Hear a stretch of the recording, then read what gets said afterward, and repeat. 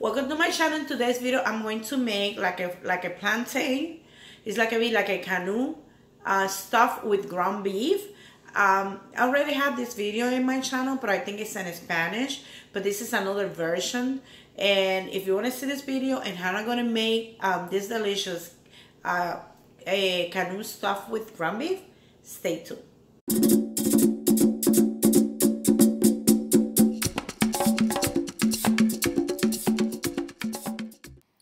Okay, the first thing I'm going to do is the meat. I have a saucepan in here, which I put it to heat it up, and I have some of the ingredients. I'm going to put the ingredients in the description box below, just in case it's easier for you to take a screenshot or just review it. I have like a one pound and a little bit more of the ground beef. This is 90% meat and 10% fat, and I like it like that because I didn't add no extra fat to this. I'm going to use half of the can of tomato sauce, which is like 4 ounces. This is one envelope of sazon. This is con culantro y achote. That's for color. Uh, this is um, garlic paste, and I made it myself. And here I have sofrito. Sofrito is um, onion, pepper, cilantro, culantro, um, mixed in a blender. And I had a video how to make sofrito in my channel. And I'm also going to use adobo, which is a seasoning, and you can use any seasoning of your preference well, the first thing I'm going to do is to put the meat and cook it. Okay, with a wooden spatula, preferably um, use a wooden spatula. We're going to break into the meat.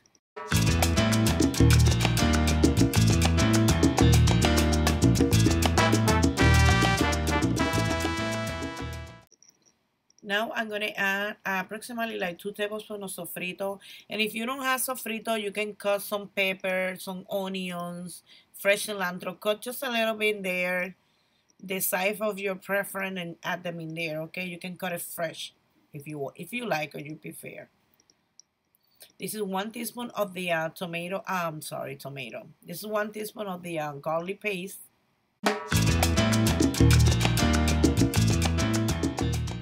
I'm just gonna let it saute it at medium high. And meanwhile, I'm still cutting it with the wooden spatula. Now I'm gonna add in the um, one envelope of the sazon. If you don't want to use sazon, you can use from one to tablespoon of the um, paprika. And I'm seasoning with the, some adobo, or you can use any seasoning. You can also yeah, um, put some salt. I'm gonna add half of the can or 4 ounces of the tomato sauce. And I'm just going to saute this. I'm going to lower the heat and then I'm going to cover this. I'm going to cover this pan, lower the heat to medium or medium low.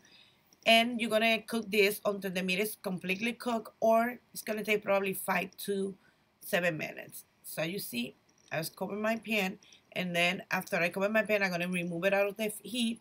And I'm going to show you how we're going to make the plantain. Um, usually, I was, um, I'm going to show you two different ways where I do my canoe. In Puerto Rico, usually we fry them. But I'm going to fry one. That way you can see it. And I'm going to bake the other one. That way you can decide which one you like better. The meat is done. And in here, I'm making some rice because I'm going to, this is rice with beans together.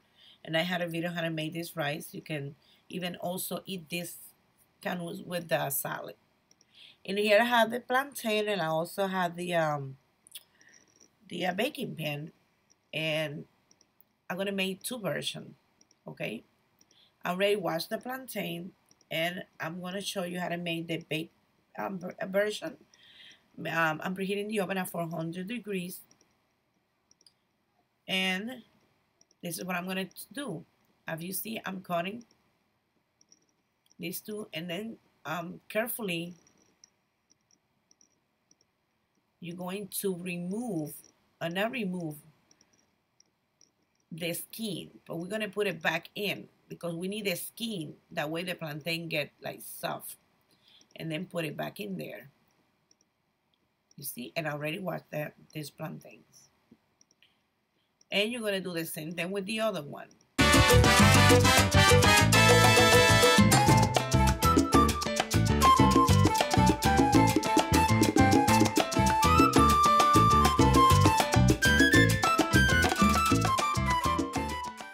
Now we're going to do the second version. I have a saucepan and I'm going to put some oil because we're going to deep fry the plantain. We're gonna do the same thing with this one, but this time we're gonna remove completely the skin.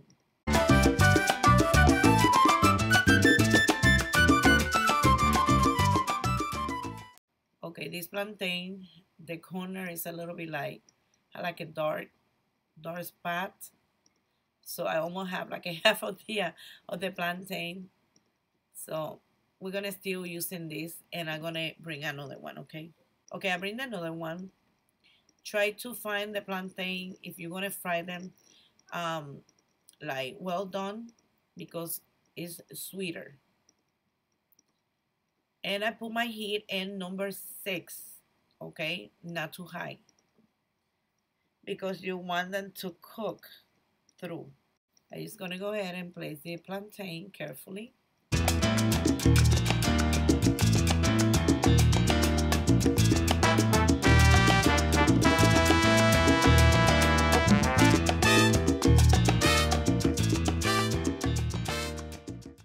You don't have to do that step. I'm doing it because I didn't put too much oil.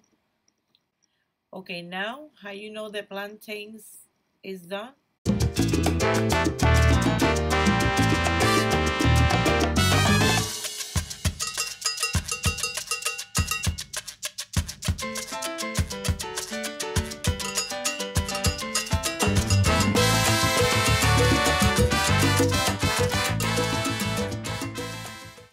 Okay, now I'm going to add some cheese. Uh, that's optional. You don't have to do that. I have Gouda cheese in here. I'm going to shred it just a little bit because I'm going to add that to one of the uh, plantain. That's going to be for my daughter. And But you, you don't have to do that. Or you can add cheese, you know, to all the canoes. Um, any anything, any cheese. Cheddar cheese, that's Gouda cheese. And I just shred it because I don't have the other one come already shredded and here is the one I bake. You just remove the, um, let it cool down a little bit. And I'm going to show you what we're going to do um, to fill the it up. Okay, in here I have the two on the left is the baked ones and the two on the right is the fried one, okay? Um, just notice what I'm going to do with a knife because we're going to fill the, uh, I'm going to fill it out with the ground beef.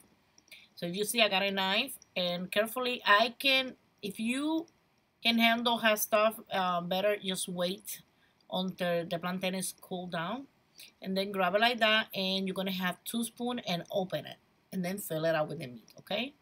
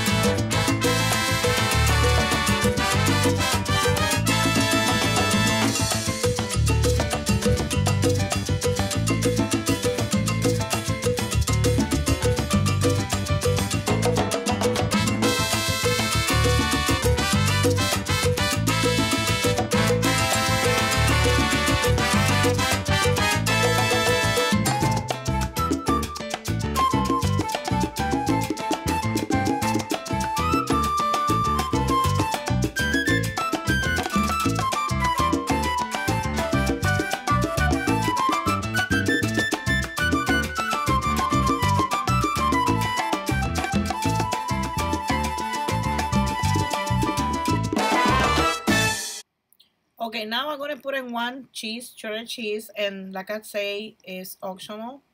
You're gonna preheat your oven at 400 because we're gonna put it back in the oven, all of them. And then I'm gonna, uh, this is optional too, also. This is optional, okay?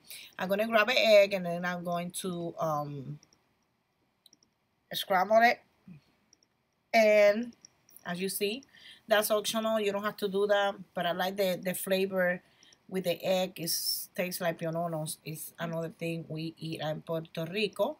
And then I just going to put it in one or two. And I'm going to put it back in the oven because remember, it's this raw egg, so it has to be cooked. And then I'm going to put it back for 10 to 15 minutes. The cheese, the one with the cheese, you take it out out of 10 minutes or until the cheese is melted. You can take it out of the oven. And if you skip this step to the egg, just put it back in the oven for 10 minutes. All four. So I'm just going to go ahead and, and put the egg and then put it back in the oven. Like I say, I'm going to just take the, the one with the cheese earlier and put it back the other one for 15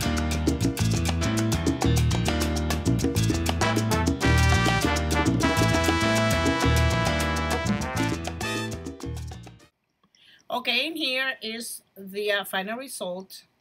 I that's the one with the cheese, as you see, and this is the one with the egg. I'm just going to go ahead and put it back in the oven, the one with the egg, because I want to leave it a little bit longer. I want to make sure that egg is completely cooked. And um, the egg don't make too much difference, though, so you don't have to add that in there.